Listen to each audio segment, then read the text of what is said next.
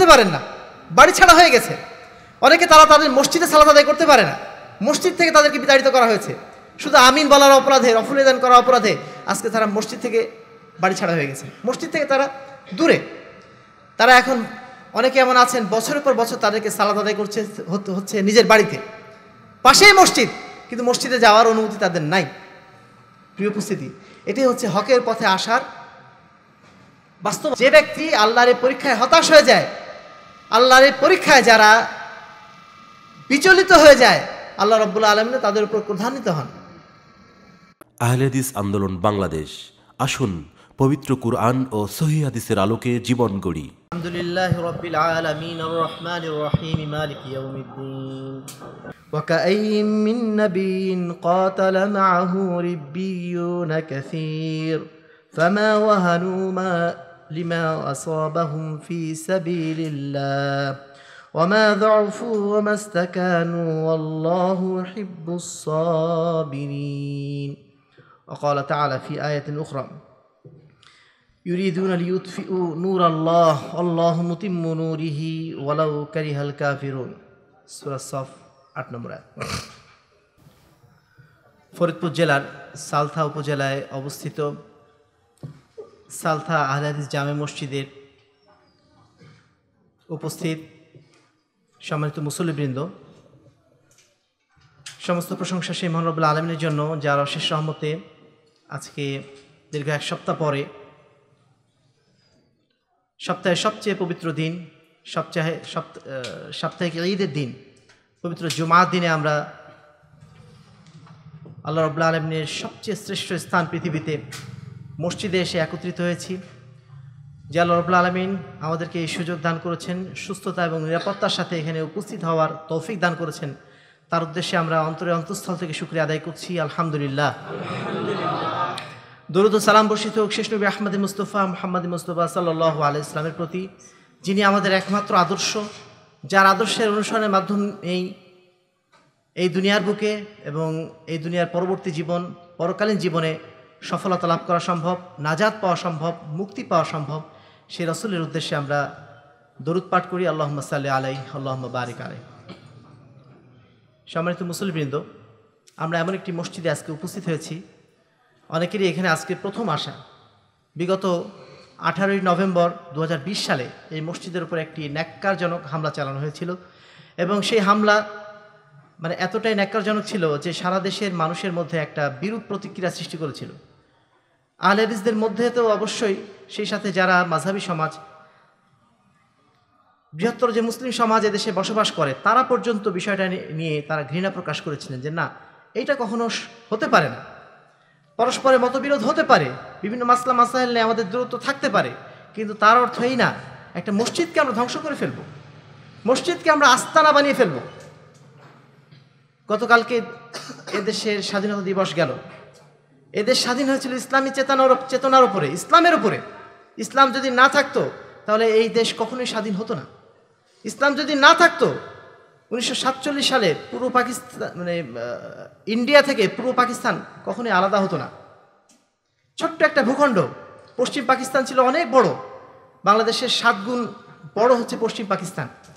এবং এই বাংলাদেশ ছোট্ট একটা ভূখণ্ড ছিল এই সময়। কিন্তু একটাই দেশ ছিল। কি কারণে ছিল? শুধুমাত্র ইসলামের কারণে।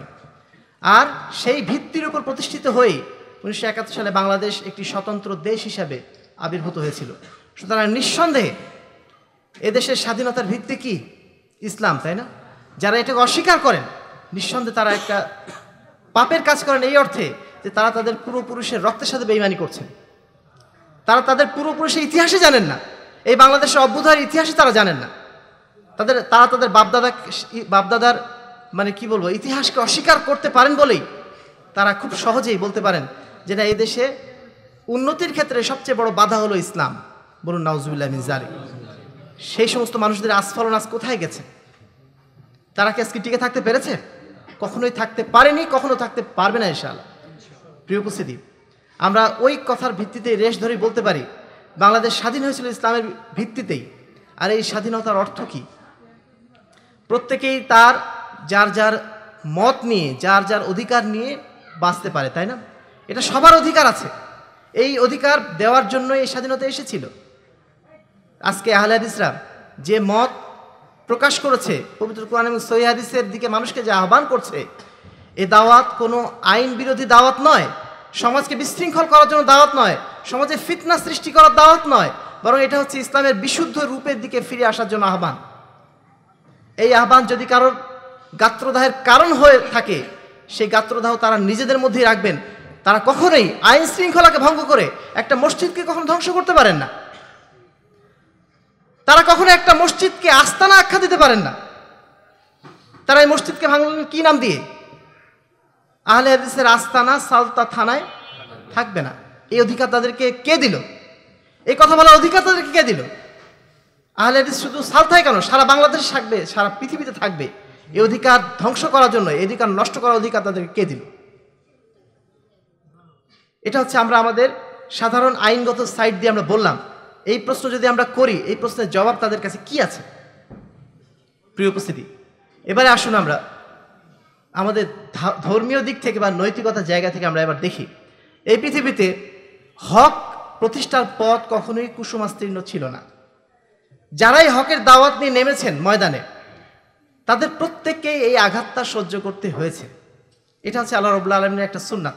এই সুন্নাত, এই সিলসিলা আল্লাহ রবুল্লা আলমিন সৃষ্টির শুরু থেকে রেখে দিয়েছেন। কিন্তু চূড়ান্ত বিচারে বিজয়ী কারা? যারা ইমানদার তারাই, তাই না? যারা এই হকের দাওয়াত দিচ্ছেন, তারাই কিন্তু চূড়ান্ত বিচারে বিজয়ী। হতে পারে তারা দুনিয়ার দিক থেকে বা দুনিয়ার বিচারে তারা পরাজিত হয়েছেন। দুনিয়ার বিচারে মানুষের কাছে আঘাত খেয়েছেন। কিন্তু তারা চূড়ান্ত বিচারে আল্লাহ রবুল্লা আলমীর কাছে তারাই হচ্ছে বিজয়ী।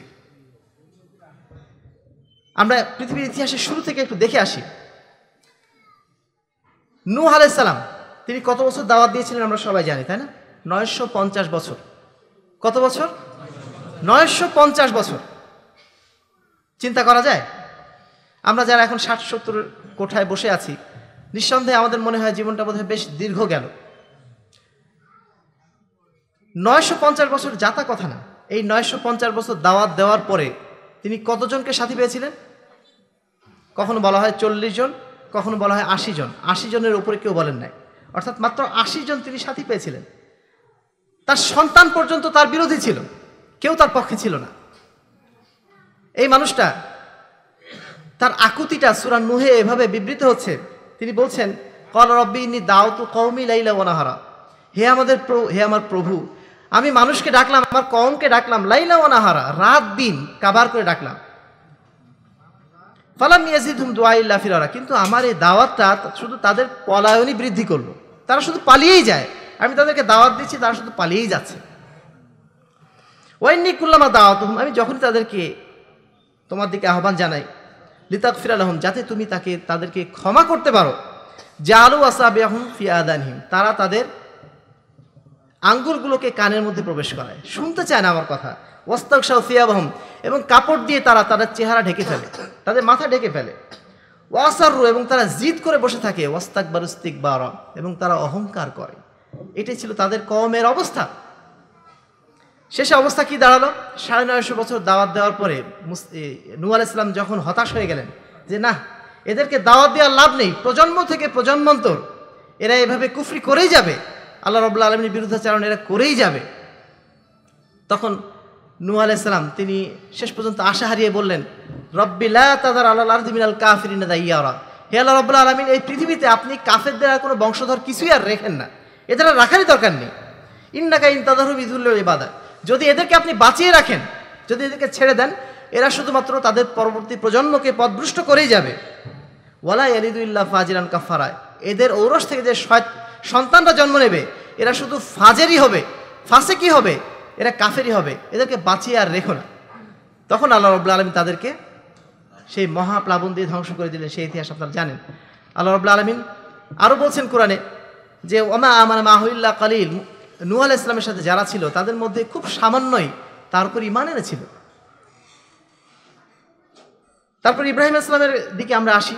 ইব্রাহিম আল ইসলামের লাইফের প্রায় পুরোটাই সংগ্রামের মধ্য দিয়ে গেছে। একের পর এক পরীক্ষা। একের পর এক পরীক্ষা। বিশাল বিশাল পরীক্ষা। সবচেয়ে বড় পরীক্ষা হলো তখন, যখন তিনি তার কমকে বললেন, জাফাতা আবুদুল মিন্দুনিল্লাহ মালায়ন ফাউকুম তোমরা কি এমন একজন? এমন কাউকে তোমরা ইবাদত করছ? এমন কারও তোমরা দাসত্ব করছ যারা তোমাদের উপকারও করতে পারে না, তোমাদের কোনো ক্ষতিও করতে পারে না? উফিল্লাকুম তোমাদের জন্য আফসোস। অলিমাতা আবুদুল মিন্দুনিল্লাহ এবং আল্লাহকে বাদ দিয়ে তোমরা যাদেরকে যাদের দাসত্ব তোমরা করছ, এদের জন্য আফসোস। আফালা তা আকিলুন তোমরা কি বোঝো না যে এদের এবাদত করে, এদের দাসত্ব করে কোনোই লাভ নেই? দুনিয়া এবং আখরাত সব জায়গাতে এখানে মানে কোনোই লাভ নেই। তোমরা কি বুঝতে পারো না? সুরাম সুরাম্বিয়ার সাতষট্টি থেকে ছেষট্টি, সাতষট্টি নম্বর এক এই কথা যখন বললেন, তখন তার সম্প্রদায়, তার উদ্দেশ্যে, বিশেষ করে সেই সম্প্রদায় যিনি শাসক ছিলেন, তিনি কি বললেন? হার রে কুহু ওকে পুড়িয়ে ফেলো। ওয়ানসুরু আলিহাতাকুম, এবং তোমাদের যারা ইলাহ, তোমাদের যারা মূর্তি, তাদেরকে তোমরা সাহায্য করো। ইন কুন্তুম ফাইলিন, যদি তোমরা কিছু করতে চাও এর ব্যাপারে। তারপরে কি করল? তারা নিয়ে একটা বিশাল অগ্নিকাণ্ড বানিয়ে ইব্রাহিম আলাইসালামকে মেরে ফেলার জন্য, পুড়িয়ে মেরে ফেলার জন্য সেখানে তাকে নিক্ষেপ করা হলো। আল্লাহ রবুল্লা আলমী তাকে সেখান থেকে বাঁচিয়ে নিলেন লিয়া নারু কুনি বারদা ওয়াসালামান আলা ইব্রাহিম, হে আগুন, তুমি ঠান্ডা হয়ে যাও। তুমি শান্তিদায়ক হয়ে যাও ইব্রাহিম আলাইসালামের জন্য। প্রিয় উপস্থিতি, অনুরূপভাবে মুসা আলাইসালামের ক্ষেত্রেও ঘটলো। মুসা আলাইসালামও তার লাইফটাও পুরোটাই স্ট্রাগলের উপর দিয়ে গেল। তিনি ফেরাউনের কাছে যে বললেন, ফেরাউন, তুমি আল্লাহর বিধান মেনে নাও। আল্লাহকে তুমি রব হিসাবে গ্রহণ করে নাও। তখন ফেরাউন তাকে বলল, যে দারুনি আব্দুল মৌসা, হে আমার কম হে আমাদের সম্প্রদায়, তোমরা আমাকে ছেড়ে দাও, আমি মুসাকে মেরে ফেলব। রব্বাহু, সে তার প্রভুকে ডেকে নিয়ে আসুক, কাকে ডেকে আনবে নিয়ে আসুক, কিন্তু আমি তাকে আজকে মেরে ফেলব। ইন্নি আখাফ ইউবাদ্দিলা দিয়ে রাখুন কেননা আমি ভয় পাচ্ছি, তোমরা যে মূর্তি পূজা আজকে করছ, যে ধর্মে তোমরা অনুসরণ করছ, সেই ধর্মকে সে বোধহয় পরিবর্তন করে দেবে। আও আইয়ুধিরা ফিল আরদি আল ফাসাদ, অথবা সে পৃথিবীতে একটা বড় ফাসাদ সৃষ্টি করবে। মুসা আল ইসলাম তাকে দাওয়াত দিচ্ছেন ফাসাদ থেকে মুক্তির জন্য, ফেতনা থেকে মুক্তির জন্য। আর সে উল্টা বলছে কি? মুসা আল ইসলাম হচ্ছে ফেতনাবাজ তিনি ফাসাদ সৃষ্টি করেন। শুধু তাই না, মুসা আল ইসলামকে এমন এক জটিল সমস্যার সম্মুখীন হতে হয়েছিল, যেটা পূর্ববর্তী নবীদের হয় নাই। পূর্ববর্তী নবীদের যারা সাথে ছিলেন, তারা তার সাথে কুফরি করেছে বটে, কিন্তু মুনাফিকি করে নাই। কিন্তু সর্বপ্রথম মুনাফিকি করেছিল মুসা আলাহ ইসলামের সাথে। মুসা আলাহ ইসলামের কম যখন নাজাদ পেয়ে গেল। ইব্রাহিমের ফেরাউনের কাছ থেকে যখন নাজাদ পেয়ে গেল, পেয়ে যাওয়ার পরে যখন আল্লাহ রবুল্লা আলম নির্দেশ দিলেন তাদেরকে যুদ্ধে যাওয়ার জন্য, তখন তারা কি বলেছিল মুসা আলাহিসামকে ইদহাব আন্তা ওয়াকাতিলা হে মুসা, ফাদহাব আন্তা ওরাব্বুকা ফাকাতিলা তুমি নিজে যাও এবং তোমার প্রভু মিলে যে যে যুদ্ধ করো। আমরা এখানে চুপচাপ বসে থাকলাম। তখন মুসা আল ইসলাম অত্যন্ত হতাশ হয়ে বললেন কল রব্বি ইন্নিল্লাহ লিকুল্লা নফসি। হে আল্লাহ রব্লা আলমিন, আমি আমাকে ছাড়া অন্য কারোর দায়িত্ব গ্রহণ করতে পারব না। ফাফরুক বাইনি ওয়াখি এবং আমার ভাইয়ের দায়িত্ব ছাড়া আর কারোর দায়িত্ব আমি গ্রহণ করতে পারব না। ফাফরুক বাইনানা ও বাইনা বাইনাল কমিল ফাসিকিন। এই ফাসে কম যারা ইমান এনেছে তোমার উপরে ইমান আনার পরেও আমার সাথে এইভাবে মুনাফিকি করছে, এদের সাথে আমাদের তুমি পৃথক করে দাও। এদের সাথে আমাকে আর রেখো না। এই জন্যই রাসুল্লাহ ইসলাম যখন তার উপর মুনাফিকদের কষ্ট আসতো, মুনাফিকরা যখন তাকে বিভিন্নভাবে কষ্ট দিত, তিনি তখন এ কথা বলতেন যে আরহামুল্লাহ আখি মুসা, আমার ভাই মুসাকে আল্লাহ রহমত করুন। কেন লাকাদ আদু, লাকাদ উ দিয়া আখতার মিন হাদা ফাসাবারা। মুসা আলাহ ইসলামকে আমার চেয়ে বেশি কষ্ট দিয়েছিল তার সম্প্রদায়। কিন্তু তারপরেও তিনি ধৈর্য ধারণ করেছিলেন। এবার ঈসা আল ইসলামের কাছে আসুন। ঈসা আল ইসলামকেও অনুরূপভাবে কষ্ট দেওয়া হয়েছিল, শুধু কষ্টই না, তাকে মেরে ফেলা হয়েছিল। মেরে ফেলা হয়েছিল মানে কি? মেরে ফেলার জন্য ষড়যন্ত্র চালানো হয়েছিল। শুলে চড়ানোর জন্য তাকে ষড়যন্ত্র করা হয়েছিল। কিন্তু আল্লাহ রবুল্লা আলমিন সেই ষড়যন্ত্র বাস্তবায়ন হতে দেন নাই, তাকে তার কাছে তুলে নিয়েছিলেন। আমাদের রসুল মোহাম্মদ সাল্লাহ ইসলামকে কীভাবে কষ্ট দেওয়া হয়েছিল সেই ইতিহাস আমরা সবাই জানি। তাকে চোদ্দ রকম অপবাদ দেওয়া হয়েছিল। তাকে পাগল বলা হয়েছিল, তাকে গণক ঠাকুর বলা হয়েছিল। কত কি তাকে বলা হয়েছিল? যিনি এই পৃথিবীর সর্বশ্রেষ্ঠ মানুষ। তার চেয়ে উত্তম, আদর্শবান মানুষ, তার চেয়ে উত্তম সভ্যতার মানুষ আর কখনো আসেন নাই, কখনো আসবেনও না। সেই মানুষটাকে যারা পাগল বলতে পারে, সেই মানুষটাকে যারা গণক ঠাকুর বলতে পারে, সেই মানুষটাকে যারা মিথ্যুক বলতে পারে, তারা কত নিকৃষ্ট হতে পারে। শুধু তাই না, তাকে মেরে ফেলার জন্য তারা বারবার চেষ্টা করেছিল। তায়েফে যখন গেলেন, তাকে পাথর মেরে আহত করা হয়েছিল। তাকে শিয়াবে আবু তালেবে তিন বছর তার কম তাকে নির্বাসনে রেখে দিয়েছিল, তাদেরকে খাবার দাবার দেওয়া হতো না, তাদেরকে সমাজের সাথে মিশতে দেওয়া হতো না। এমন অবস্থা হয়েছিল, তিনি এবং তার সাথীরা গাছের পাতা খেয়ে জীবন ধারণ করেছিলেন তিন বছর।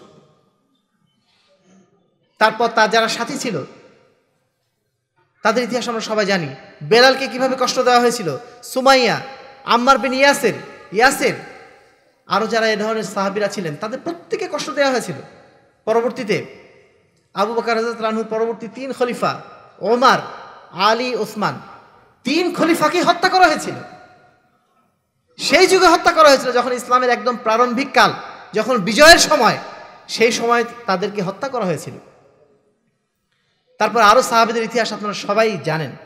এমনকি হোসাইন রাজাত আনহু, যিনি আল্লাহ রসুলামের অত্যন্ত আদরের নাতি তাকে অত্যন্ত নৃশংসভাবে মেরে ফেলা হয়েছিল। পরবর্তীতে তাদের অনুসরণ যারা করেছিলেন, প্রত্যেক যুগের হকপন্থী ওলামায়কেরাম যারা ছিলেন তাদের প্রত্যেককেই এই ধরনের বিপদের সম্মুখীন হতে হয়েছে। চার ইমামের নাম আমরা সবাই জানি। ইমাম আবু হানিফাকেও কারাগারে মৃত্যুবরণ করতে হয়েছিল। তাকে কাজীর পদ দেওয়ার জন্য তৎকালীন শাসক অনুরোধ করেছিলেন। কিন্তু তিনি সেই পদ গ্রহণ করেন নাই। কেন করেন নাই? কেন কাজীর পদে যদি তিনি আসেন, তাহলে শাসক তাকে যেই হুকুম দেবেন, যেই নির্দেশ দেবেন, সেই নির্দেশ তাকে অনুসরণ করতে হবে। অন্যায় হলেও মেনে নিতে হবে। এজন্য তিনি কাজীর পদ, বিচারকের পদ গ্রহণ করেন নাই। আর এজন্য তাকে শাস্তি দেওয়া হলো কি? তাকে কারাগারে রেখে দেওয়া হলো। এবং আমৃত্যু, মৃত্যু পর্যন্ত তিনি সেই কারাগারে থাকলেন এবং তার লাশটা বের করা হলো কারাগার থেকে। ইমাম আহমদ বিন হাম্বল, তার উপরে ঠিক একইভাবে অত্যাচার করা হয়েছিল। তিনি বলেছিলেন যে, না, তাকে বলানোর চেষ্টা করা হয়েছিল যে, আল কোরআন হচ্ছে আল্লাহ সৃষ্ট একটা জিনিস, মাখলুক। কোরআন হচ্ছে মাখলুক, সৃষ্ট জিনিস। ইমাম আহমদ বলেছিলেন, এটা হতে পারে না। কোরআন হচ্ছে আল্লাহর জ্ঞান এলমুল্লাহ এলমুল্লাহ কখনো মাখলুক হতে পারে না। এটা হচ্ছে আল্লাহ রব্লা আলমিনের কাদিম একটা সিফাত। আল্লাহ রব্লা আলমী সব কিছু জানেন। শুরু থেকে সব কিছু জানেন। শুরু থেকে শেষ পর্যন্ত সব কিছু তিনি জানেন। তার অজ্ঞাত বিষয় বলে কিছু নেই। যদি আমি স্বীকার করে নেই কোরআন মাখলুক, তাহলে এটা আমাকে ধরে নিতে হবে আল্লাহ রব্লা আলমিনের। এটা হচ্ছে একটা পরবর্তী জিনিস, পরবর্তী সৃষ্ট জিনিস, যেটা আল্লাহ রব্লা আলমিনের জ্ঞানে আগে ছিল না লেখার আগে বা সৃষ্টি করার আগে। এজন্য তাকে কারাগারে বহুদিন রাখা হয়েছিল, বলা হয় প্রায় তেত্রিশ মাস বা তিরিশ মাস তিনি ছিলেন কারাগারের মধ্যে। অর্থাৎ প্রায় আড়াই বছর তিনি কারাগারে ছিলেন। অনুরূপভাবে ইমাম মালিক বিন আনাসকে শুধুমাত্র একটা অপরাধে, একটা মাসলার কারণে তাকে কীভাবে শাস্তি দেওয়া হয়েছিল?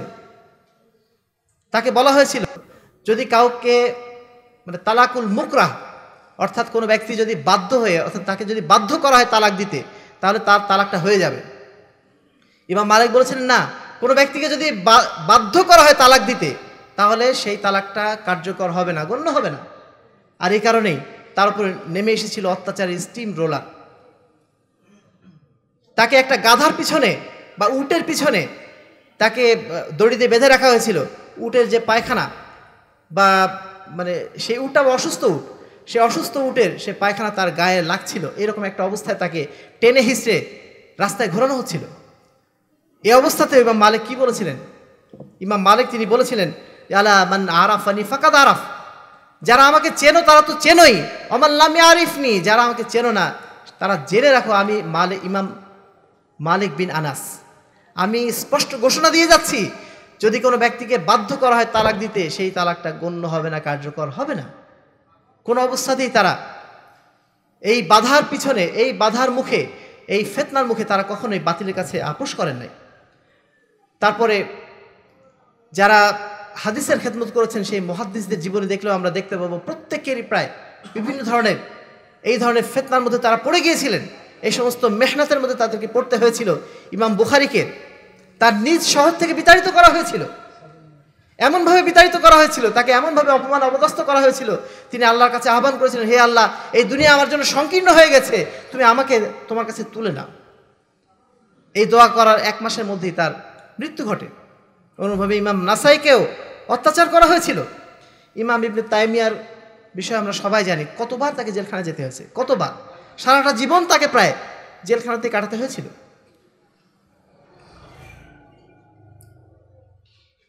এইভাবে যদি আমরা হিসাব করতে যাই, জগতে যত বিখ্যাত ওলামায় কেরাম ছিলেন, যারা হকের পথে হতের পক্ষে যারা অবস্থান করেছিলেন তাদের প্রত্যেকেই কোনো না কোনো অত্যাচারের শিকার হয়ে হতে হয়েছিল। তার নিজের বাড়ি দ্বারা, নিজের পরিবার দ্বারা, নিজের সমাজ দ্বারা, নিজের রাষ্ট্র ব্যবস্থা দ্বারা, যারা সমাজে দায়িত্বশীল ছিলেন, তাদের দ্বারা। আমাদের মুহতার আমির জামা ডক্টর আসাদুল্লাহ গালিবকেও আপনারা জানেন, প্রায় সাড়ে তিন বছর তাকে জেল খাটতে হলো বিনা কারণে। খামাখা তাকে জঙ্গিবাদের অপবাদ দিয়ে সাড়ে তিনটা বছর তাকে জেলখানে রেখে দেওয়া হলো। এইভাবে যারাই হকের পক্ষে কাজ করেছেন তাদেরকে যুগে যুগে বাধার সম্মুখীন হতে হয়েছে। আজকে সালথা মসজিদের এই অবস্থা নিয়ে আমরা হাহুতাশ করি, আফসোস করি। কিন্তু যদি আমরা এই পৃথিবী ইতিহাস লক্ষ্য করি, তাহলে দেখব এটাই আসলে বাস্তবতা। যারাই হকের পক্ষে কাজ করেছেন, তাদেরকে বাধার সম্মুখীন হতে হয়েছে। বাধার সম্মুখীন যদি আমরা না হই, তাহলে বুঝব যে আমরা আসলে হকের পথে নেই। বাস্তবতা হচ্ছে এটাই। প্রিয় উপস্থিতি, এখন আসুন। এই বাধা তো আমাদেরকে আসবেই। আমাদের এখানে যারা ভাইরা রয়েছেন আজকে আমার ধারণা, এখানে অধিকাংশই যারা রয়েছেন, তারা সবাই নতুন আহলে হাদিস। অর্থাৎ নতুন সহিহাকিতা তারা গ্রহণ করেছেন। এবং তারা প্রত্যেকেই হয় নিজের পরিবার থেকে অথবা নিজের সমাজ থেকে, নিজেদের ধর্ম নেতাদের কাছ থেকে তারা কিন্তু বাধার সম্মুখীন হয়েছেন এবং এখনও হচ্ছেন। অনেকে এখনও বাড়িতে যেতে পারেন না, বাড়ি ছাড়া হয়ে গেছে। অনেকে তারা তাদের মসজিদে সালাত আদায় করতে পারে না, মসজিদ থেকে তাদেরকে বিতাড়িত করা হয়েছে। শুধু আমিন বলার অপরাধে রফুলিদান করার অপরাধে আজকে তারা মসজিদ থেকে বাড়ি ছাড়া হয়ে গেছে। মসজিদ থেকে তারা দূরে। তারা এখন অনেকে এমন আছেন, বছরের পর বছর তাদেরকে সালাদ আদায় করছে হচ্ছে নিজের বাড়িতে। পাশেই মসজিদ, কিন্তু মসজিদে যাওয়ার অনুমতি তাদের নাই। প্রিয় উপস্থিতি, এটাই হচ্ছে হকের পথে আসার বাস্তবতা। এখন এই অবস্থায় আমরা কি করব? আমরা কি হতাশ হয়ে যাব? আমরা কি আল্লাহ রবুল্লা আলমিনের উপর নারাজ হয়ে যাব যে, হে আল্লাহ, আমি এত কষ্ট করে হকটা গ্রহণ করলাম, আর তুমি আমার উপর এই কষ্ট চাপিয়ে দিলে কেন? আমরা কি এই কথা বলব? আমাদের করণে কি হবে? প্রথম কথা হচ্ছে এই, এটা হচ্ছে আমাদের ইমানের জন্য একটা পরীক্ষা। আমাদের ইমানটা আসলে কতটুকু সত্য? আমরা তো আসলাম হকের উপরে, কিন্তু আসলে আমরা কতটুকু হকের উপরে নীতিবান, হকের ওপর আমরা কতটুকু স্থিতি থাকতে পারব, এটা আল্লাহ রবুল্লা আলমিন পরীক্ষা নিতে চান। এজন্য মনে করতে হবে, বাতিল, হকের উপর থাক, থাকলে যত বিপদে আসুক না কেন, আমাকে, আমার ইমানটা আমাকে মজবুতভাবে ধারণ করে থাকতে হবে। এটা হচ্ছে আমার প্রথম কর্তব্য। আল্লাহ রবুল্লা আলমিন আমাদেরকে সাহস যোগাচ্ছেন এভাবে। বা আমাদেরকে একভাবে, কি বলব, একটা শিক্ষাও দিচ্ছেন যে, আম হাসির তুমান তাৎকুল জান্না তোমরা কি ধরে নিয়েছো? তোমরা ইমান এনেছো আর তোমরা জানাতে চলে যাবে? অথচ তোমাদের আর পরীক্ষা নেওয়া হবে না। পরীক্ষা তোমাদের দিতেই হবে। পরীক্ষার পর পরীক্ষা দিতে হবে। জান্নাতে যাওয়া এত সহজ নয়। জান্নাতে যাওয়া এত সহজ কাজ নয় যে, আমরা বলেছি যে, ইমানের আনলাম এবং রাসূলের আদর্শ অনুযায়ী জীবন পরিচালনা করলাম। এটুকু বলেই কিন্তু আমরা মুক্তি পাব না। আমাদেরকে অবশ্যই নানা পরীক্ষার সম্মুখীন হতে হবে এবং সেই পরীক্ষায় বিজ- বিজয়ী হতে হবে। আল্লাহ বলছেন, আম হাসিদ মান তাৎখুল জান্না তোমরা কি ধরে নিয়েছো, তোমরা এমনিতেই জানাতে প্রবেশ করবে? ওলাম্মা ইয়াতিকুম মাসালুল্লাদিনা মিন কাবলিকুম অথচ তোমাদের উপর তাই আপত্তিতে হবে না। যেটা আপত্তিত হয়েছিল তোমাদের পূর্বসূরি যারা ছিল, তাদের উপরেও। মাসা তুমুল বা আসাওয়াদ্দর্রা তাদের উপরেও কষ্ট নেমে এসেছিল, বিপদ নেমে এসেছিল। ওয়াজুল জিলু এবং তারা প্রকম্পিত হয়ে গেছিল। এমন বিপদ তাদের উপর এসেছিল। তাদের কাউকে এমন হয়েছিল যে তাদের মাথাকে লোহার চিরুনি দিয়ে আছড়িয়ে বা তাদের শরীর লোহার চিরুনি দিয়ে আছড়িয়ে তাদের হাড্ডি থেকে তাদের গোস্তগুলো ছাড়িয়ে নেওয়া হয়েছিল। এমন অনেক নবী ছিলেন যাদের মাথার উপর করাত চালিয়ে তাদেরকে দুই ভাগ করে ফেলা হয়েছিল। তোমাদের উপর তো এখনও ওই বিপদ আসে নাই। হাত্তা ইয়াকুল রসুল্লাহ দিন এমন মাহু মাতা নাসরুল্লাহ। এমন পরিস্থিতি সৃষ্টি হয়েছিল যে আল্লাহ রসুলের সাথে যারা ছিলেন বা আল্লাহ রসুল তিনি নিজেই বলে উঠেছিলেন, মাতা নাসরুল্লাহ আল্লাহর সাহায্য কখন আসবে? আর কতদিন আমরা অপেক্ষা করব? আর কতদিন আমরা এই বিপদে থাকব? আল্লাহ ইন্না নাসরুল্লাহ করিব। আল্লাহ রবুল্লা আলমী সান্ত্বনা দিচ্ছেন, আল্লাহ রবুল্লা আলমিনের সাহায্য তোমাদের অতি নিকটেই আছে। আল্লাহ আমাদেরকে আরও সান্ত্বনা দিচ্ছেন এইভাবে ওয়াকাইমিন কত নবী চলে গেছে ইতিপূর্বে, যাদের সাথে, তাদের সাথীরাও আল্লাহর পথে লড়াই করে গিয়েছেন। ফামা ওয়াহানু, কিন্তু এই লড়াইয়ের সময় তারা কেউ কখনো দুর্বল হয়ে পড়েন নাই। লিমা আসাবহম ফিসাবিল্লাহ আল্লাহর পথে যে বাধাগুলো এসেছিল, সেই বাধাগুলোকে তারা হাসি মুখে বরণ করে নিয়েছিলেন। অমা দাউফু, তারা দুর্বল হয়ে যান নাই। অমাস্তাকা আনু এবং তারা নতি স্বীকারও করেন নাই। তারা আপোষও করেন নাই, তারা হকের উপর সুদৃঢ় ছিলেন। আল্লাহ হিব্বুস সাবরিন নিশ্চয় আল্লাহ রব্লা আলমিন যারা সফর করে, ধৈর্য ধারণ করে, তাদেরকে ভালোবাসেন। সুরা আল ইমরান একশো ছেচল্লিশ নম্বর আয়াত। আল্লাহ বলছেন, ওয়ালা তাহিনু ওয়ালা তাহাজানু। তোমরা কখনো হীনবল হয়ে যেও না, তোমরা কখনো হতাশ হয়ে যেও না, চিন্তিত হয়েও না। ও আন্তুমুল আলাউন, তোমরাই হচ্ছে আল্লাহর কাছে সবচেয়ে বেশি মর্যাদাবান। ইনকুন্তুম মিনিন যদি তোমরা প্রকৃত ইমানদার হয়ে থাকো। অর্থাৎ আমাদের ইমানটা সবচেয়ে বেশি মূল্যবান। ইমানের উপর আমাদের টিকে থাকতে হবে। যত বিপদে আসুক না কেন, যত বাধাই আসুক না কেন, আমাদেরকে কখনো ইমানের রাস্তা থেকে দূরে সরে যাওয়া চলবে না। ইমানের উপর আমাদের টিকে থাকতে হবে। এটি হচ্ছে আমাদের সবচেয়ে বড় পরীক্ষা। আল্লাহ বলছেন ইন্নাল্লাদিনা কল রব্বন আল্লাহ। নিশ্চয়ই যারা বলে যে আল্লাহ আমাদের প্রভু হচ্ছেন আল্লাহ সোম্মাস্তা কমু অতঃপর তারা এই ইমানের উপর তারা সুদৃঢ় অবস্থায় থাকে। ফালা খফুল আলহিম আলহম হাজানুন তাদের কোনো ভয়ও নেই তাদের কোনো চিন্তাও নেই। আল্লাহ রবুল্লা আলমিন এই ফেতনার কারণ সম্পর্কে বলছেন ওয়ালাকাত ফাতান্নাল্লা দিন আমিন কবলিকুম ইতিপূর্বে যে সমস্ত জাতি রয়েছে, তাদের সবাইকে আমরা পরীক্ষা করেছিলাম। ফালাই আলামুল্লাহ সদাকু ওলাই আলামান্লাহ কাদিবিন এটা কেন করেছিলেন আল্লাহ রবুল্লা আলমিন? তিনি দেখতে চেয়েছিলেন যে তোমাদের মধ্যে কারা ইমানের দাবিতে সত্যবাদী এবং ইমানের দাবিতে কারা মিথ্যাবাদী? এটা আল্লাহ রবুল্লা আলমিন পার্থক্য করতে চেয়েছেন। আমি বললাম, আমি ইমান এনেছি, আল্লাহ রবুল্লা আলমিন আমাকে ছেড়ে দেবেন। বিষয়টা এমন না। তিনি আমাদের ইমানের পরীক্ষা নেবেন যে আসলে আমরা ইমানের উপর কতটুকু মজবুত থাকতে পারি। আল্লাহ আরও বলছেন, মা কান আল্লাহ লিয়াদ আল মুমিন আলা মা আন্তুম আলাই নিশ্চয় আল্লাহ রবুল্লা আলমিন মুমিনদেরকে তাদের অবস্থার উপর ছেড়ে দেবেন না। যতক্ষণ না পর্যন্ত তিনি জানতে পারবেন, হাত্তা ইয়ামিজ আল খাবিস আমিনা তাইব যতক্ষণ না তিনি ভালো এবং মন্দের মধ্যে পার্থক্য সৃষ্টি করে দেবেন অর্থাৎ ইমানদের, ইমানদারদের মধ্যে প্রত্যেকেই যে ভালো হবে, এটা নিশ্চয়তা নেই। এদের মধ্যেও ভালো হতে পারে আবার খারাপ মানুষ হতে পারে। এই জিনিসটা আল্লাহ রবুল্লাহ পৃথক করবেন। যারা ইমানের উপর টিকে থাকতে পারবে, তারাই হচ্ছে ভালো মানুষ। আর যারা ইমান আনার পরে ইমান থেকে আবার হোঁচট খেয়ে পড়ে যাবে, তারা কি ভালো মানুষ থাকবেন? তারা খারাপ মানুষের মধ্যে চলে যাবেন। এই পার্থক্যটা করার জন্য আল্লাহ রবুল্লা আলমিন আমাদেরকে পরীক্ষা নিয়ে থাকেন। দুই নম্বর বিষয় আমাদেরকে সর্বাবস্থায় আল্লাহর উপর ভরসা করতে হবে। সর্বাবস্থায় আল্লাহর উপর ভরসা করতে হবে।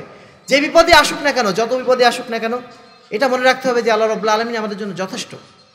ফাইনামা আল্লাহ শ্রী উসর নিশ্চয়ই কঠিন অবস্থার পরে একটা সহজ অবস্থা আসে। কঠিন অবস্থা আসবে, এই অবস্থার পরে আবার একটা সহজ অবস্থা অবশ্যই আসবে। এই বিশ্বাসটুকু নিজের মধ্যে রাখতে হবে। লাইকল্লিফুল্লাহ নাফসানিল্লাহ হুসা নিশ্চয় আল্লাহ রবুল্লা আলমিন কোনো মানুষের ওপরে তার সাধ্যের অতিরিক্ত দায়িত্ব চাপিয়ে দেন না। যার ইমান যতটুকু, তার জন্য পরীক্ষা ততটুকু হয়। তার চেয়ে বেশি আল্লাহ রবুল্লা আলমী সাধারণত নেন না। আল্লাহ বলছেন যে, ওমাই তাওয়াক্কাল আল্লাহ ফাহু হাসবু নিশ্চয়ই যে ব্যক্তি আল্লাহর উপর ভরসা করতে পারবে, আল্লাহ রবুল্লা আলমিন তার জন্য যথেষ্ট হয়ে যান। গোতাবাক্কাল আল্লাহ হাইল্লাদি লায়ামুদ হে মানুষ, তোমরা আল্লাহর উপর ভরসা করো। সেই আল্লাহর উপর ভরসা করো, যিনি চিরঞ্জীব, যিনি কখনো মরেন না, যিনি কখনো মারা যান না। যে চিরঞ্জীব সত্তা, সেই সত্তার উপর তোমরা ভরসা রাখো। আল্লাহ রবুল্লা আলমিন তার রাসুলকে উদ্দেশ্য করে সান্ত্বনা শোনাচ্ছেন এভাবে ওলা সৌফা ফাতার দেওয়া অচিরে তিনি তোমাদেরকে এমন দান করবেন যে তুমি খুশি হয়ে যাবে। আজকে সালতা মসজিদের যে ভবিষ্যৎ প্ল্যান নিয়ে আমরা আলোচনা করছি, আজকে আমাদের খুশি লাগছে না? একটা সময় ছিল আমাদের কত কষ্টের, কত দুঃখের সময় ছিল। সেই সময়টা পার হয়ে আল্লাহ রবুল্লা আলমিন আমাদেরকে এত দান করেছেন এত কিছু দিয়েছেন এখন। এখন আমাদের সবার মুখে খুশির হাসি, তাই না? আলহামদুলিল্লাহ। প্রিয় উপস্থিতি, এটি হচ্ছে আল্লাহ রবুল্লা আলমিনের নীতি। যদি আমরা আল্লাহ রবুল্লা আলমিনের উপর তাওয়াক্কুল করে থাকতে পারি, নিঃসন্দেহে আল্লাহ রবুল্লা আলমিন তার পুরস্কার আমাদেরকে দান করবেন। তিন নম্বর হচ্ছে আমাদেরকে অবশ্যই ধৈর্যশীল হতে হবে। ধৈর্য ধরে থাকতে হবে। আল্লাহ রবুল্লা আলমিন তার প্রত্যেকটা রাসুলকে, যাদের উপরেই এই কষ্ট চেপে নেমে এসেছিল তাদেরকে প্রথম উপদেশ দিয়েছিলেন, তোমরা ধৈর্য ধারণ করো। ধৈর্যটা হচ্ছে সবচেয়ে বড় অস্ত্র মুমিনের। সবচেয়ে বড় ঢাল। যে যত বেশি ধৈর্যশীল, সে তত বেশি সফল। আল্লাহ বলছেন ওলা নাবলু আন্নকুম বিষয় মিনাল খৌফ আমি তোমাদেরকে কিছু ভয় দিয়ে পরীক্ষা করব। ওয়াল জো তোমাদেরকে ক্ষুধা দিয়ে পরীক্ষা করব। ওয়ানাকসিম মিনাল আমওয়াল, তোমাদের সম্পত্তি চলে যাবে। ওয়াল আওলা তোমাদের সন্তান সন্ততি হারিয়ে যাবে। ওয়াল আনফুস তোমরা নিজেরাও কখনো কখনো বা তোমাদের আত্মীয় স্বজনদের মধ্যে, তোমাদের প্রিয়জনদের মধ্যে কেউ হয়তো চলে যাবে, মারা যাবে। ও সামারত। এবং তোমাদের যে ফসল আদি, এগুলো কখনো নষ্ট হয়ে যাবে। তোমাদের সম্পদ কখনো নষ্ট হতে পারে। কিন্তু অবশ্যই সবেরিন, যারা ধৈর্যশীল, তাদেরকে তুমি সুসংবাদ দান করো। মুসা আল ইসলাম যখন ফেরাউনের বিপদ থেকে উদ্ধার পেলেন, উদ্ধার পাননি তখনও, সে অবস্থায় তার কম তাকে বলল, হে মুসা, আমরা কতদিন আর সহ্য করব? তুমি আসার আগেও আমাদের কষ্ট ছিল, তুমি আসলা তারপরেও আমার, আমাদের কষ্ট গেল না। আর কতদিন আমরা এভাবে কষ্টের মধ্যে থাকব? তখন মুসা ইসলাম তাদেরকে সান্ত্বনা দিচ্ছেন এভাবে ইস্তাইন বিল্লাহ, তোমরা আল্লাহর কাছে সাহায্য চাও। তোমরা আল্লাহর কাছে সাহায্য চাও অসবিরু এবং তোমরা ধৈর্য ধারণ করো। আল্লাহর কাছে সাহায্য চাও এবং কি? ধৈর্য ধারণ করো। এখানেও ধৈর্যের উপদেশ দিচ্ছেন। ইন্নাল আরদালিল্লাহ নিশ্চয় আল্লাহ রব্লা আলমিন, এই পৃথিবী হচ্ছে আল্লাহর। ইউরিসুহা মাইয়াশা মিন ইবাদি তিনি এখানে যাকে খুশি তাকে দিয়ে এই পৃথিবী পরিচালনা করেন।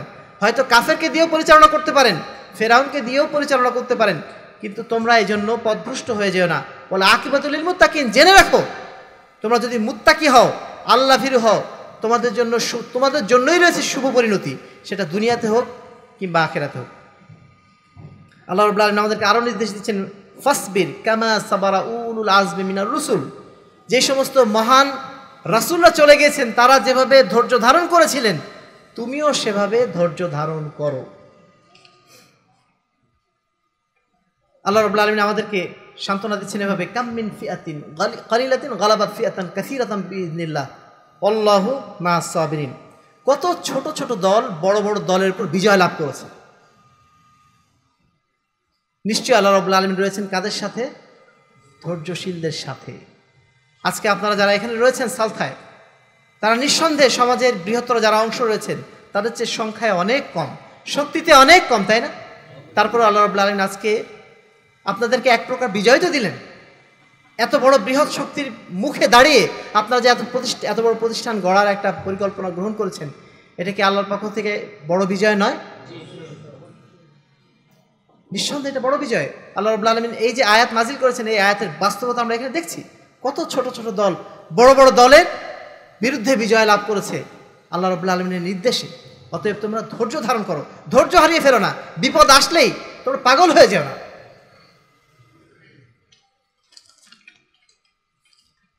চার নম্বর যে কাজটা হবে, সেটা হচ্ছে আল্লাহ রবুল্লা আলমিনের দিনের পক্ষে আমাদের প্রচেষ্টা অব্যাহত রাখতে হবে। বিপদ এসেছে আর পিস্টান দিয়ে পালিয়ে গেলাম। পিছু টান দিয়ে পালিয়ে গেলাম না, এদের সাথে থাকা যাবে না। আলহাজদের সাথে থাকলে জেল জরিমানা হয়। সমাজ থেকে আমাদের বিচ্ছিন্ন হতে হয়, এদের সাথে আর থাকা যাবে না। আমাদের অনেকের মধ্যে এই ধরনের চিন্তা আসে না। শয়তান ঢুকিয়ে দেয়। প্রিয় উপস্থিতি, কোনো অবস্থাতেই এই পথ ছাড়া যাবে না। এই সংগ্রামের পথে আপনাকে টিকে থাকতে হবে। এটাই তো আপনার জন্য পরীক্ষা।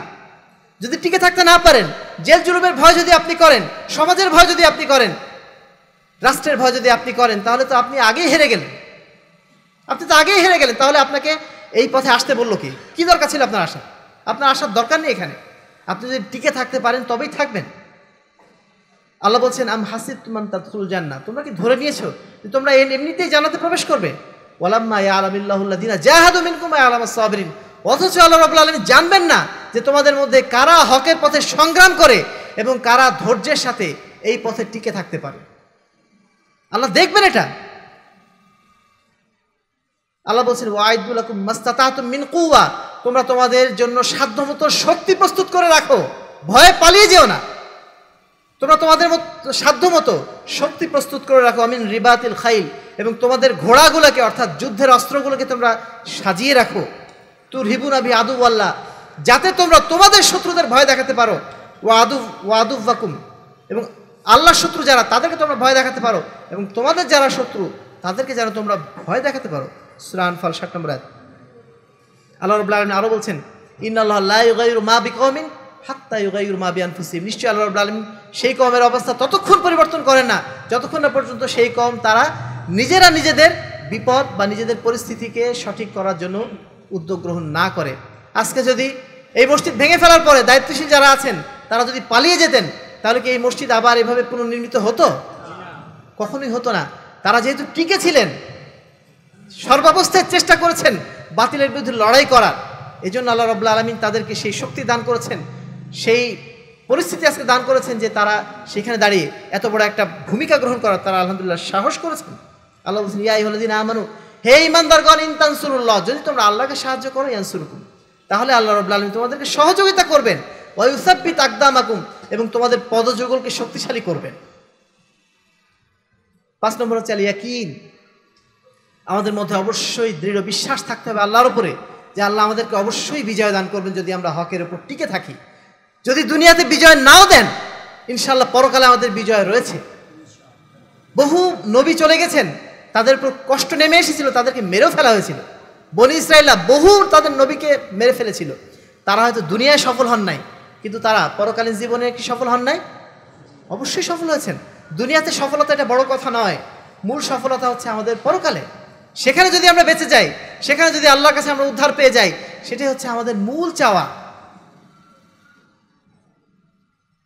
আল্লাহ রব্লা আলমিন বলছেন ওয়ালাকাল আর সাল্লা মিন কবলিকা রসুলান আমি ইতিপূর্বে বিভিন্ন কমের কাছে রসুল প্রেরণ করেছেন ফাজা আহমুল বাই ফাজা আহম বিল বাইনাত। এবং তাদের কাছে স্পষ্ট প্রমাণাদিও এসেছিল, ফান্তাকামনা মিনাল্লাদিনা আজরামু। এই প্রমাণাদি আসার পরেও যারা সত্যকে অনুসরণ করে নাই যারা আল্লাহ রব্লা আলমিনের বাণীকে, বিধানকে যারা গ্রহণ করে নাই ফান্তাকামনা মিনাল্লাদিন আজরামু, সেই পাপিষ্ঠদের উপরে আমরা প্রতিশোধ গ্রহণ করেছিলাম। ওয়াকান হাক্কুন আলাইনা নাসরুল মুমিনিন, নিশ্চয়ই আমাদের উপর হক হলো, মুমিনদেরকে আমি সহযোগিতা করব, বিজয় দান করব। এটা আল্লাহ রব্লা আলম বলছেন, এটা আমার উপর হক।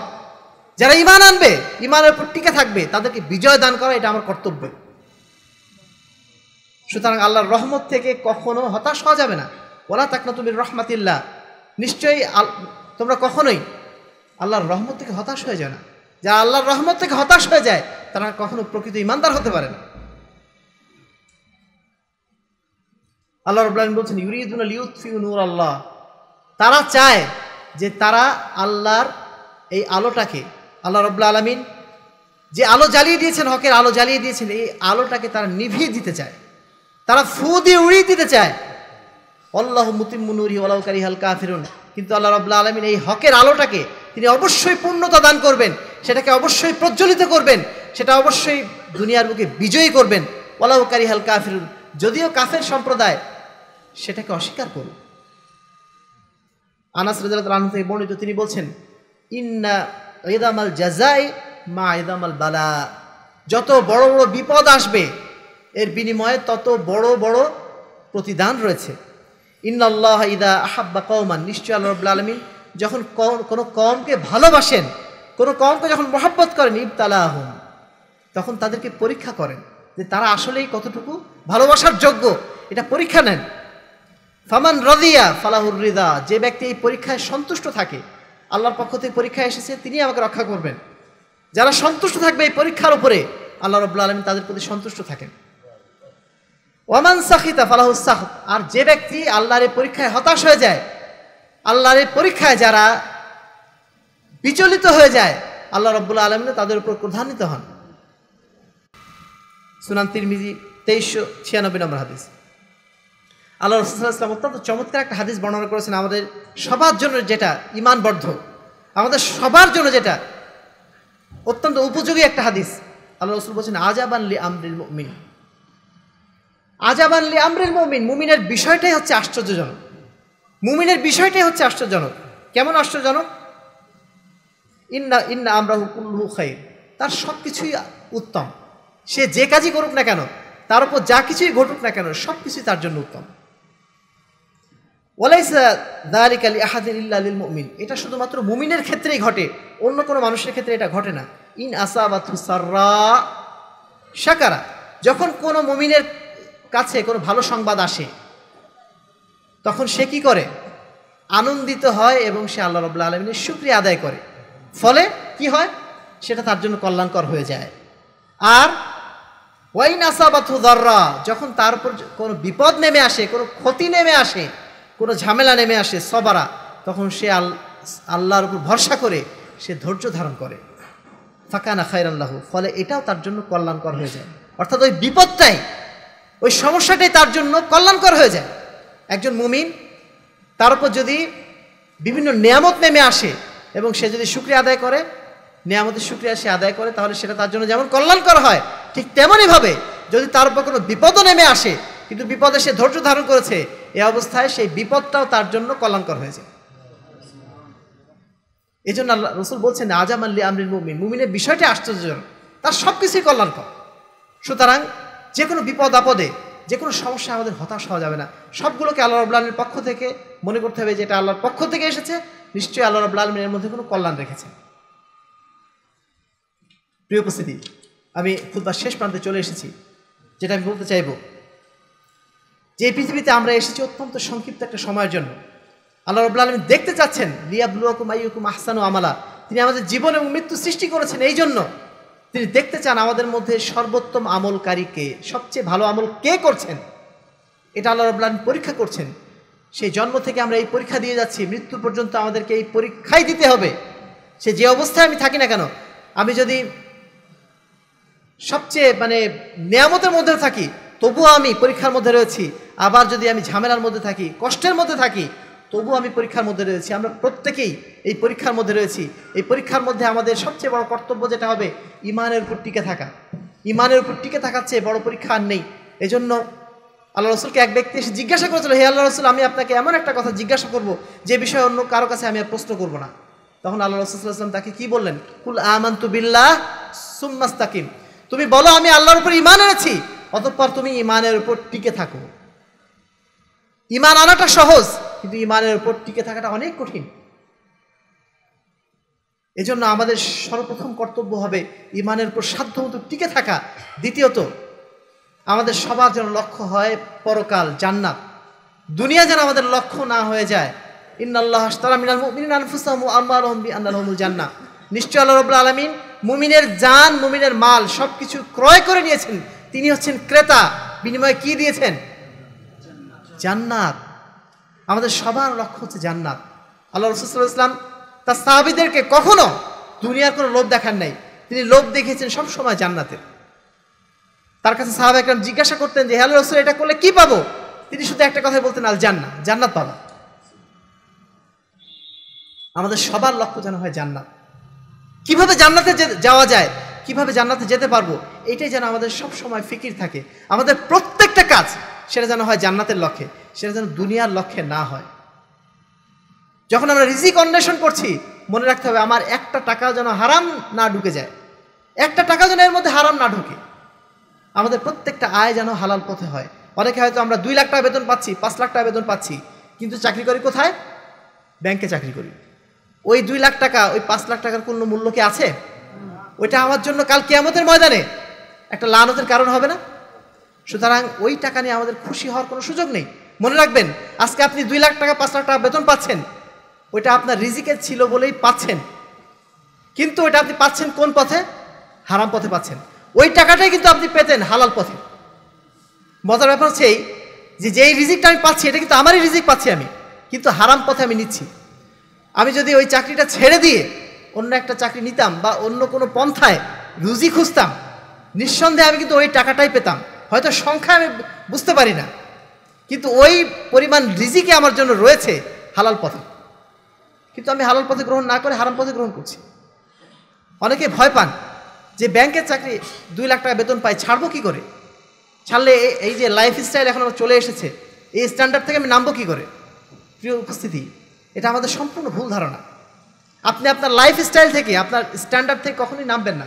আল্লাহ রব্লা আলমিন আপনাকে, আপনার প্রাপ্য রিজিক সেটা আপনার জন্মের পঞ্চাশ হাজার বছর আগে লিপিবদ্ধ করে রেখেছেন। আপনার সৃষ্টির পঞ্চাশ বছর, হাজার বছর আগে লিখে রেখেছেন। যতটুকু আপনার জন্য প্রাপ্য, ততটুকু আপনি পাবেনই এবং তার থেকে সামান্য কণা মাত্র বাকি থাকা পর্যন্ত আপনি মৃত্যুবরণ করবেন না। অতএব ওই চিন্তা আপনার মাথায় আনার দরকার নেই। আল্লাহ রব্লা আলম কীভাবে রিজিক দেবেন, সেটা আল্লাহই ভালো জানেন। রিজিকের সংজ্ঞাই তো আমরা বুঝি নাই। অনেক সময় মনে করি শুধু ওই টাকাটাই বোধহয় রিজিক। আমাদের যে স্বাস্থ্য আল্লাহ রব্লা আলমী দিয়েছেন সুস্বাস্থ্য আমার সন্তানকে যে আল্লাহ রব্লা আলমী সুস্থ রেখেছেন এটাও কি একটা রিজিকের মধ্যে অন্তর্ভুক্ত না? আপনি পাঁচ লাখ টাকা বেতন পান বটে কিন্তু আপনার সন্তানটাকে আল্লাহ রব্লা আলমী এমন একটা অসুখ দিয়ে রেখেছেন যে আপনার সন্তানের পিছনে আপনার প্রতি মাসে এক লাখ টাকা করে যাচ্ছে। তাহলে ওই রিজিকটা কোন দিকে যাচ্ছে? একদিকে আনছেন একদিকে ব্যয় হয়ে যাচ্ছে। সুতরাং এইটাকে আপনি রিজিক মনে করবেন না। প্রিয় উপস্থিতি যেটা বলতে চেয়েছিলাম, আমাদের জীবনের প্রত্যেকটা পদক্ষেপের লক্ষ্য যেন হয় কি? জান্নাত। প্রত্যেকটা কাজ যেন আমরা জান্নাতের লক্ষ্যে করতে পারি। আল্লাহ রবুল্লা আলমিন আমাদেরকে সেই তৌফিক দান করুন। আর মনে রাখবেন, জান্নাতের পথ কখনোই কুসুমাস্তীর্ণ নয়। জান্নাতের পথে থাকতে গেলে আপনাকে অবশ্যই নানা বিপদের মোকাবেলা করতেই হবে। যত ভালো মানুষ আপনি হবেন, তত বেশি বিপদের সম্মুখীন হবেন। এটা আল্লাহ রসুলের ঘোষণা। তিনি বলছেন আসাদুল নাসি বালান আল আম্বিয়া। পৃথিবীতে সবচেয়ে যারা বিপদগ্রস্ত ছিলেন তারা কারা? আম্বিয়ায় কেরাম। সুম্মা সলেহুন, অতঃপর যারা পৃথিবীতে ভালো মানুষ। সুম্মাল আমসাল ফাল আমসাল, অতঃপর যারা তাদের নিকটবর্তী, যারা ভালো মানুষদের নিকটবর্তী, তাদের উপরও সমান বিপদ নেমে আসে। ইউবতালার রজুলু আলা হুসনি দিনহি, যে মানুষের দিনটা যত সুন্দর, যে দিনের উপর যত বেশি টিকে থাকতে চাইবে, তার উপর পরীক্ষাটা তত বেশি বড় বড় হবে। ফাইন কানাফি দুইনি সুলবান ইস্তাদাবিহি বালাউহু। যদি তার দিনের মধ্যে দিনটা যদি বেশি মজবুত থাকে, তাহলে তার জন্য পরীক্ষাগুলো বড় বড় হবে, কঠিন কঠিন হবে। ওয়াইন কানাফি দিন রিক্কা, আর যদি তার দিনটা থাকে খুব হালকা, তাহলে তার জন্য পরীক্ষাগুলো হয় হালকা হালকা, ছোট ছোট পরীক্ষা হয়। পরীক্ষা আমাদের দিতেই হবে যদি আমরা দিনের উপর থাকি। অতএব এই পরীক্ষা যদি আসে, আমরা যেন হতাশ না হয়ে যাই। যে করণীয়গুলো আমরা উল্লেখ করেছি, এই করণীয়গুলো আমরা যেন সবসময় মাথায় রাখি। আমাদের লক্ষ্য হবে সবসময় ইমানের উপর। টিকে থাকা। দুই নম্বর বলেছিলাম, আমরা যেন সর্বাবস্থায় আল্লাহর উপর ভরসা করি। তিন নম্বর যেন ধৈর্যের সাথে এই পরীক্ষাগুলোর মোকাবেলা করি। চার নম্বর সর্বাবস্থায় যেন আল্লাহর রাস্তায় আমরা আমাদের প্রচেষ্টাকে অব্যাহত রাখি। আমরা যেন পালিয়ে না যাই। সর্বশেষ আল্লাহর প্রতি এই বিশ্বাস রাখা যে যদি আমরা ইমানের উপর টিকে থাকতে পারি তাহলে বিজয় আমাদেরই। এই বিশ্বাস আমাদের সবসময় ভিতরে রাখতে হবে। হয় দুনিয়াতে, নাহলে পরকালে। আল্লাহ রবুল্লা আলমিন আমাদের সকলকে ইমানের উপর টিকে থাকা তৌফিক দান করুন। প্রিয় উপস্থিতি, সর্বশেষ কথা এই এই সালথা মসজিদ। যে বিপদের মধ্য দিয়ে গিয়েছে, আলহামদুলিল্লাহ আল্লাহ রবুল্লা আলমিন সকলের সহযোগিতায় আজকে আবার নতুন করে এটার ভিত্তিপ্রস্তর স্থাপন করা হবে ইনশাআল্লাহ। আপনারা সকলে, যার যার জায়গা থেকে সাধ্য মতো এই প্রতিষ্ঠানটিকে এগিয়ে নেওয়ার জন্য সহযোগিতা করবেন ইনশাআল্লাহ। আজকে যারা এখানে উপস্থিত রয়েছেন তাদের প্রত্যেকের এক টাকা হলেও যেন এখানে অংশগ্রহণ থাকে। সে চেষ্টা আমরা সবাই করব তো ইনশাআল্লাহ? সেই সাথে আরও একটা যেটা বলতে চাইব যে এই প্রতিষ্ঠান গড়ার মূল উদ্দেশ্যটা কি? মূল উদ্দেশ্য হচ্ছে বিশুদ্ধ আকিদা এবং আমলকে সমাজে ছড়িয়ে দেওয়া। মূল উদ্দেশ্য কিন্তু আমাদের ওটাই। আহলে আন্দোলন বাংলাদেশ উনিশশো আটাত্তর সালে সাল থেকে এদেশের বুকে পবিত্র কোরআন এবং সই হাদিস ভিত্তিক যে আন্দোলন চালিয়ে আসছে, যে সংস্কার কার্যক্রম চালিয়ে আসছে, এর একটাই উদ্দেশ্য আর রুজু এলাল কিতাব ও সুন্না হে মানুষ, আপনারা কিতাব এবং সুন্নাতের দিকে ফিরে আসুন। আজকে মানুষ সবাই যার যার মতো করে এক একজন মানুষকে তাদের রবের মতো গ্রহণ করে নিয়েছে। তারা যা বলে সেটাকেই তারা অন্ধের মতো অনুসরণ করে যাচ্ছে। আমরা বলছি এটাই যে অন্ধ অনুসরণ না, আমরা যেন পবিত্র কোরআন এবং সহিহাদিস অনুযায়ী আমাদের জীবন গড়ে তোলার চেষ্টা করি। আমরা যেন আমাদের ইমামদের মতগুলোকে কোরআন হাদিস দিয়ে যাচাই করি, কোরআন হাদিসকে যেন আমরা আমাদের ইমামদের মতামত দিয়ে যাচাই না করি। এটাই আমরা চেয়েছিলাম, এটাই আমরা চেয়েছি। এই সংস্কার আন্দোলনের মূল লক্ষ্য এটাই যে আমরা যেন আমাদের যে সমস্ত ভাইয়েরা, আলহামদুলিল্লাহ, আল্লাহ আলামিনের অসং মানে অশেষ রহমতে ইমানের পথে এসেছেন, তাদের ইমানের সাথে যেন শীত মিশে না যায়। তারা যতটুকু আমল করছেন, ততটুকু আমল যেন খালেস হয়, তার সাথে যেন বেদাত না মিশে যায়। শির মুক্ত ইমান এবং বেদাত মুক্ত আমল, এজন্যই আমাদের সংগ্রাম। এই সংগ্রাম চালানোর জন্য এই ধরনের শিক্ষা প্রতিষ্ঠানগুলো অত্যন্ত গুরুত্বপূর্ণ। এখান থেকে আমাদের পরবর্তী প্রজন্ম গড়ে উঠবে, যারা এই সমাজটাকে নতুন করে গড়ে তুলবে, তাওহিদ এবং সুন্নাতের সাথে সাথে গড়ে তুলবে। আলহামদুলিল্লাহ, এখন সারা দেশে আমরা দেখতে পাচ্ছি এই শিক্ষা প্রতিষ্ঠানগুলো গড়ার পিছনে মানুষের যথেষ্ট আগ্রহ তৈরি হয়েছে। আজকে এখানে কিছু ভাই এসেছেন সুদূর গোপালগঞ্জ থেকে, তারাও তাদের একই দাবি যে আমাদের এলাকাতেও একটা প্রতিষ্ঠান এরকম দরকার, সেজন্যই তারা পরামর্শ করার জন্য এসেছেন। আমরা আল্লাহ রবুল্লা আলমের কাছে দোয়া করছি, এই মসজিদকে, এই মাদ্রাসাকে যেন আল্লাহ রবুল্লা আলম কবুল করে নেন। এইখান থেকে যেন দিনের বিশুদ্ধ দাওয়াতটা অত্র এলাকায় যেন ছড়িয়ে পড়ে। আল্লাহ রবুল্লা আলম সেই তৌফিক তাদেরকে দান করুন। এবং আরও যে সমস্ত এলাকাগুলো এখনও পর্যন্ত, যেখানে হকের দাওয়াত এখনও প্রজ্বলিত হয়নি, সেখানে যেন এই ধরনের প্রতিষ্ঠানগুলো যেন গড়ে ওঠে, আল্লাহ রবুল্লা আলমিন আমাদের সকলকে সেই তৌফিক দান করুন। আল্লাহ আমিন। وآخر دعوانا أن الحمد لله رب العالمين.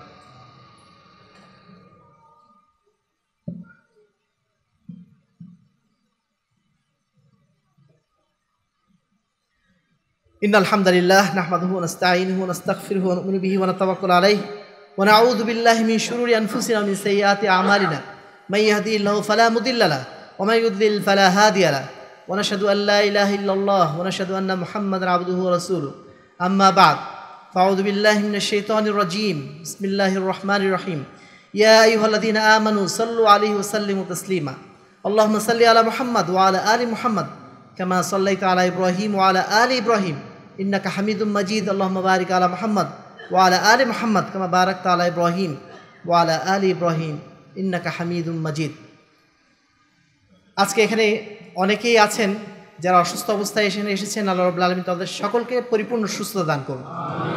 যারা আমাদের অনেকে রয়েছেন, বাড়িতে রয়েছেন, অসুস্থ অবস্থায় রয়েছেন, এখানে আসতে পারেননি, দূর থেকে দোয়া করছেন, আল্লাহ রবুল্লা আলমী তাদেরকেও পরিপূর্ণ সুস্থতা দান করুন।